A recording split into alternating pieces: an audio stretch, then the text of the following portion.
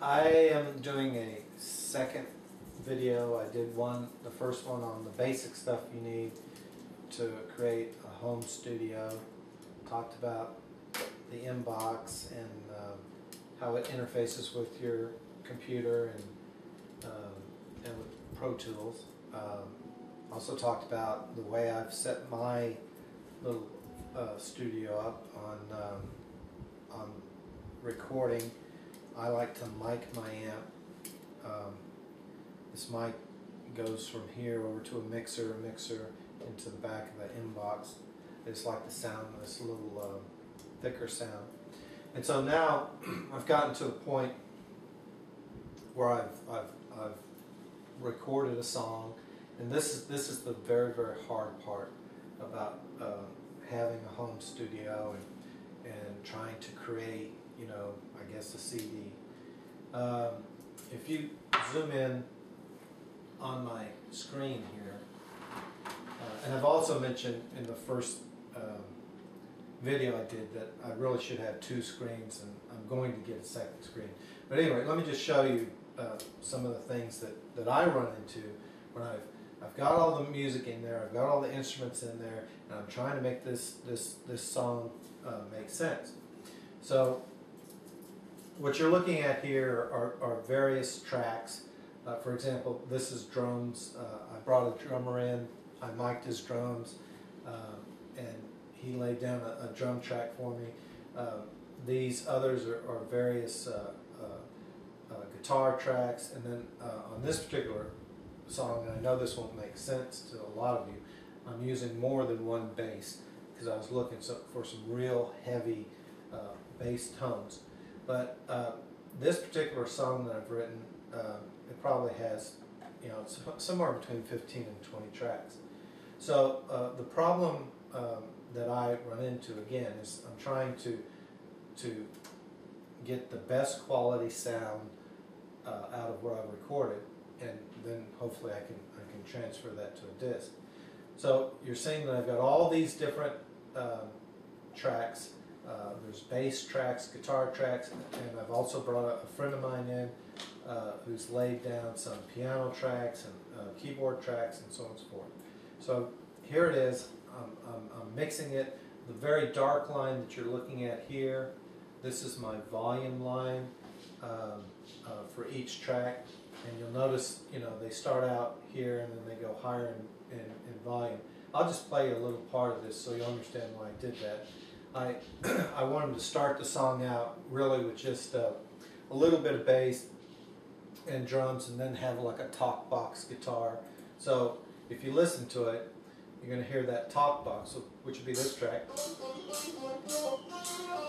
You hear the drummer in the back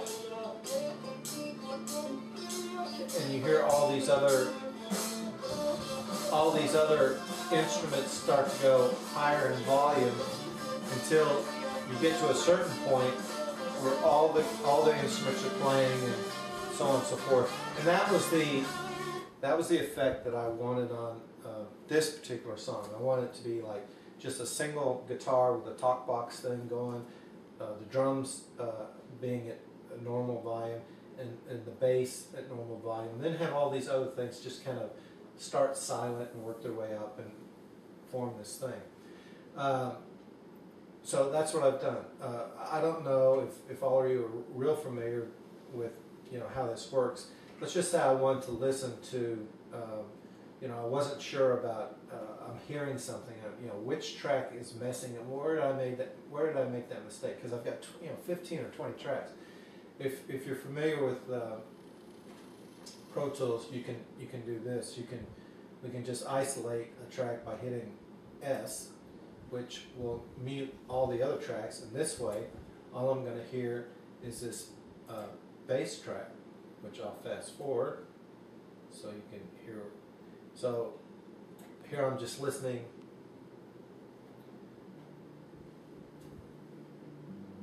So that's a bass track, you know, where you can just solo and listen to one track at a time.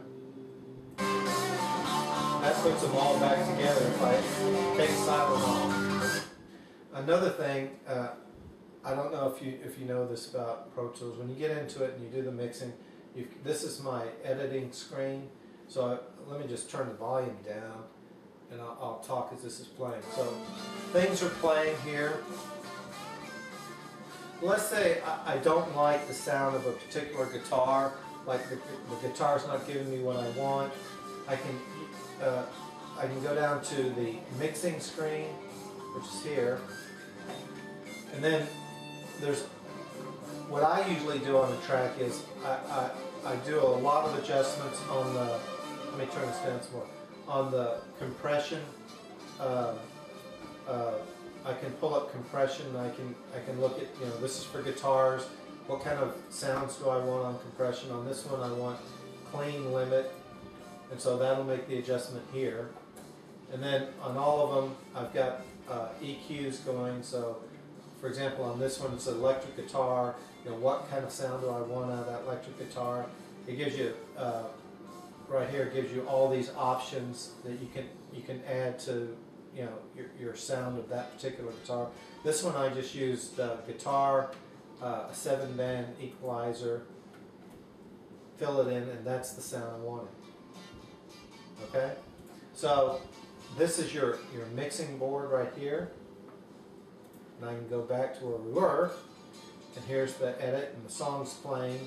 Right now you're listening to I wanted a, a 12 string effect. So what you're hearing, this is 12 string. Or excuse me, that's the wrong track. Where's the 12 string? Right here. That's the 12 string playing the lead right there.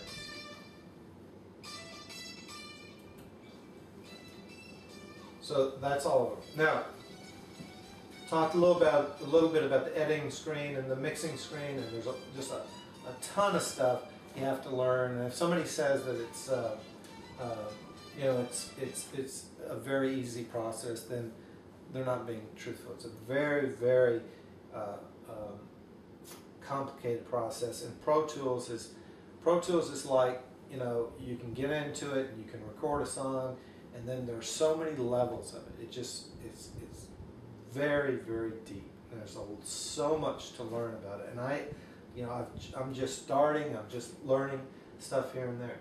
Now, now that I, let's just say, for example, that I'm, I'm good with this song, and uh, I usually, uh, uh, right here, there's, there's various things you can do. For example, I can, I can block that track, I can, uh, I can go here, that tells me the, the, the waveform of the song, here's the volume, here's, uh, you know, if you mute it, you want to mute it, and pan, pan is where we can take a track and if I move the pan up, then you know it'll come out of the, for example, the left speaker. If I move it down, come out of the right speaker. If you want a panning effect.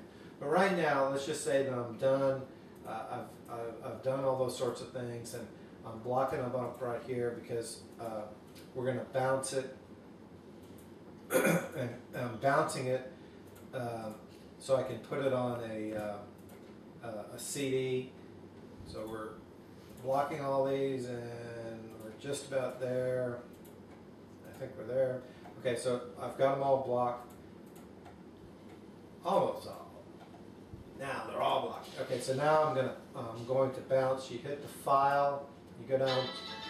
You go down to uh, excuse the phone call. You go down to bounce to disk, and that's going to bring up uh, uh, uh um,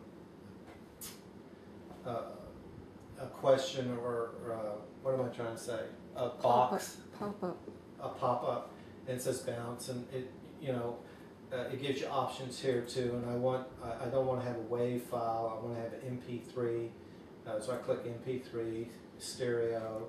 Um, you know various things, and then we hit bounce, and then it goes from here to my hard drive, and then what we do uh, we can take it from the hard drive and using iTunes, we can uh, import the song into iTunes, and from there, we take our, our CDs and we burn a CD.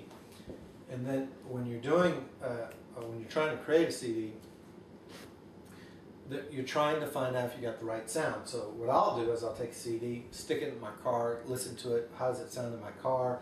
When you play it up here through these monitors, it sounds a certain way. If you play it straight with the real cheap monitors here that come with the computer, it sounds different. So I'm